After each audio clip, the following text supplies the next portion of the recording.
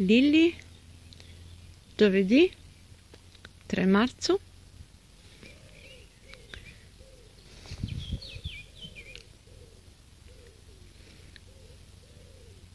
Che si gode questa ora di sole che è uscita inaspettata ma desiderata.